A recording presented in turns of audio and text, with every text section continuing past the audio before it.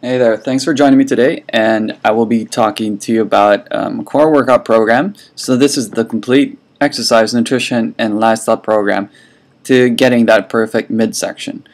And my name is Jose Villablanca and I'm a personal trainer. I've been doing this since 2007 and I'm also a holistic lifestyle coach. So what that means is I look into your lifestyle holistically and um, see where we can make improvements so you can see more fitness results. So what you can do outside of the gym will translate in the gym and in your body. So the first thing I want to talk to you about is a common myth, which is spot reduction. So what is spot reduction? So spot reducing the effort to exercise one part of the body in hopes of reducing the amount of fat stored in that area. What that means is um, the more crunches you do, and that means that you'll burn more fat in your belly. See that typo there? I just noticed that. Sorry. so basically, what that means is um, it doesn't mean that the more crunches that you do, that you do, the more fat you'll burn around your belly, or the more tricep extensions you do, the more fat you'll burn um, at your around your arms. So especially the back arms, because that's where the triceps are. Um, a lot of people still think that that holds true. Now, yes, you do feel that burn, but that's um, the burning sensation or um, a lactic acid buildup to where you're working the muscles. So if you're feeling that burn in your, your midsection, that's just, you know, your abs, which is underneath um, a layer of fat burning because of the lactic acid buildup. Or if you're doing tricep extensions um, and you feel that burning sensation at the back of your arms, you're not burning fat tissue. You're building lactic acid around the muscles that you're working. So the triceps, all right? So that is an absolute myth. Next thing I want to talk to you about is nutrition. So I do not know if you've heard of the saying, um, abs are not built in the gym, they're built in the kitchen. I truly believe that that is partially true. so what that means is um, you definitely need to eat right because that is your fuel you want to think of food as fuel, not just, you know, as something that you need to do to get by throughout the day. And the right types of fuel will definitely get you working harder, okay? Um, if you feed a Ferrari diesel, it won't, it won't run, right? Um, but the body is really that good that it would use um, not, you know, non-optimal food and change it so that you could use it for energy, although it is very taxing to your body. A car can't do that. So you really need to treat your vehicle of life, which is your body, um, as much uh, as as as good as possible. You have to respect it.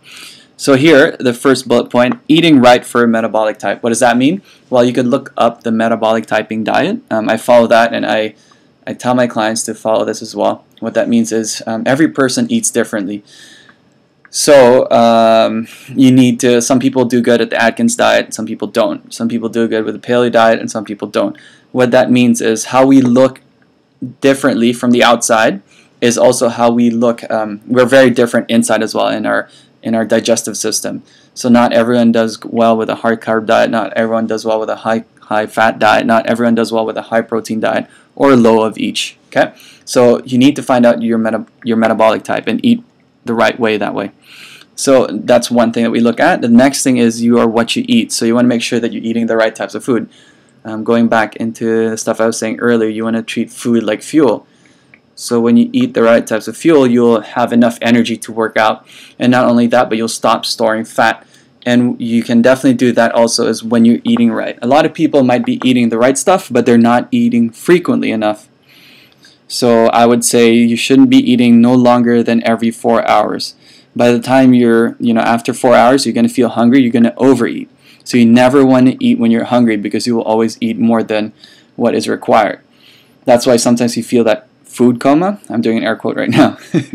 yes, um, that's because it takes about 20 minutes once you start, um, once you swallow your food, it takes about 20 minutes before your body actually feels that you're eating something. So, you know, think about how long it actually takes you to eat. Some people, you know, it takes them 10 minutes, which means 10 minutes later, that's when they actually, their body actually feels that they've been eating but by that point it's too late, right? Because they they stuffed their face so much. Now, are you one of those people? Hopefully not. So that's why you need to eat every four hours. Um, what you're digesting. So a lot of people eat right and they eat at the right times, but they actually don't know and they're not listening to their body and they're not seeing the cues that um, they're not actually digesting the food that they're eating. So, which is really a waste of your time and money. You're going out to buy the right types of food, spending high, you know, a lot of money for high quality foods, and you're eating at the right times. You know, making carving out time to make to eat at the right peak times, and you're exercising too. But you may not know that you're not actually digesting. And now this is one thing that a lot of people uh, neglect because they just don't know, right? You don't know what you don't know. So you really need to look at uh, the signals that if you're actually digesting the food or not. And uh, one signal is actually abdominal bloating. So talking about that into getting a flatter midsection, when you eat the right types of food, when you're avoiding all the food intolerances or allergies that you have, you won't have abdominal bloating. Think about it. When you eat certain types of food, you start to notice that you're you start to bloat same thing with the ab abdominals. It won't it will never be flat if you keep eating the wrong foods. The next thing that we want to look into is rest, recovery, and exercise program. So earlier I was just talking about nutrition. Now um, you, you need to look into how do you put a program together. Are you going to have a full body workout? That's usually for beginners or someone who wants to restart, who's been fit but has always been doing a split program or a two-day split or a three-day split or a compound exercise program. So you, you, it, full body programs are not always for beginners, but this is um, every month, every four weeks, four to six weeks really, you should be changing your workout program.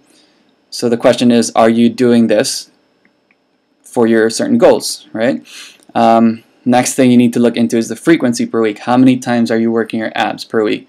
And are you pairing it up with an upper body day, lower body day, or accessory day? you need to look into the intensity as well, how hard you're working out. Not every single workout can be very intense because that's very taxing. Now, stress or sorry, working out is a type of stress, but it's a good stress, all right? But working out too hard or overtraining is a distress, which isn't good for you. So a lot of people don't see results. They'll amp up their workouts. They'll work out really hard, but then you're not recovering enough and you're not having enough time between workouts, which could lead to overtraining and injury. So that's why you also need to look into your rest between workouts. Okay, so how long are you working out or taking a break between um, workouts for the abs? Not just that, but rest between muscle groups. Okay, so again, if you're doing a split program or a full body program, there's always a rest period for each muscle group because you actually build muscle, lean tissue muscle. Don't worry, ladies, if you don't want to get bulky, but you build lean tis tissue muscle, muscle tissue, sorry, um, during your rest period. You stimulate your muscles to grow, you stimulate your fat to burn as you work out, but during the rest period, that's when uh, your body makes the changes, okay? And another thing you want to look into is a lot of people do this wrong. Um, well, just because they don't know any better, but the planes of motion. So there are three planes of motion. There's the sagittal, which is um, anything like crunches, frontal, which is like side bends, side planks, um, uh, basically to work the obliques, and the third plane of motion, and this goes for any type of muscle group, okay? That's the uh, transverse, okay? So that goes with um, wood chops, kneeling wood chops, um, anything that has a rotational movement to it. So those are the three planes of motion. Most people always stick to, or not always, but they usually stick to sagittal plane just because that's how most machines are built. Um, that's what most people know how to exercise. So Talking about the types of core exercises, um, there is the rotation, which is in the transverse plane, um, and there's the anti-rotation, which means just holding the position, fighting against gravity, um, and I'll give you a few examples later.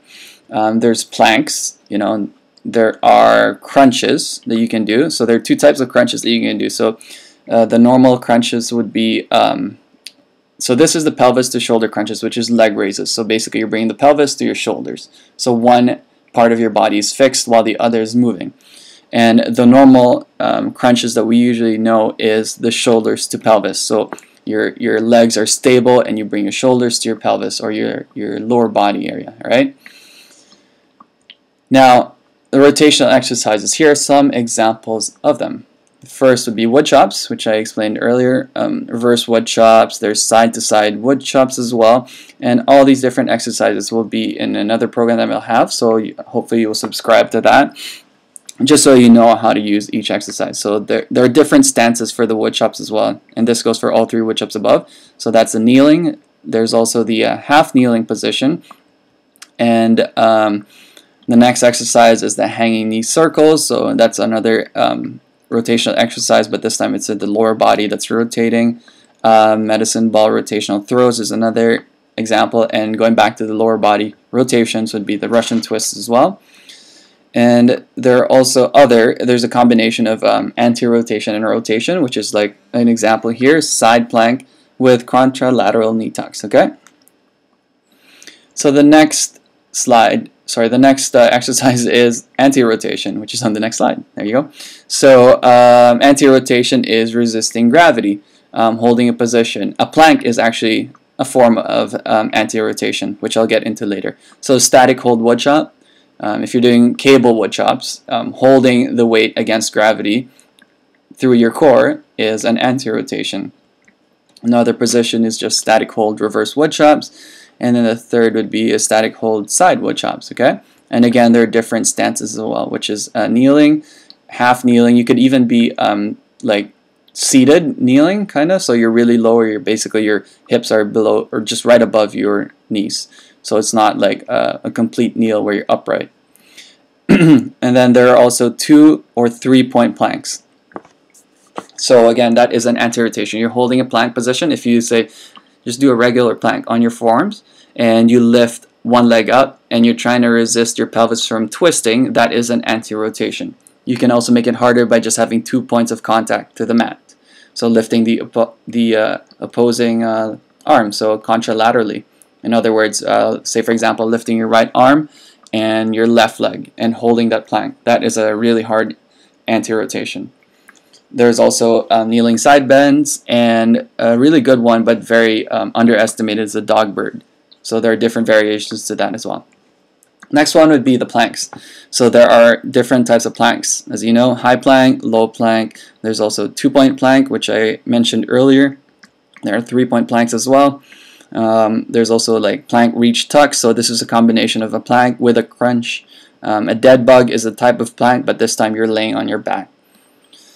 And then the next type of exercise or movement for the core is crunches. So again, I showed you that earlier. Crunches is bringing the shoulders to your um, lower body. Now another type of crunches is bringing your legs to your upper body, which is leg raises. So that's the pelvis to the shoulders this time. Um, bicycles is another type of crunch, which is using um, the opposite sides and opposite limbs as well. Um, Swiss ball crunches, so you can do crunches with a Swiss ball, which gives you more range of motion as opposed to laying on your back. So you just lay flat. This one extends you even more, which means you have more range of motion to work your abdominals. And then you can also do Bosu crunches if you don't have great stability because the Bosu ball, half of it, the other side is flat, so you put that flat surface against the floor, which makes it more stable compared to a Swiss ball.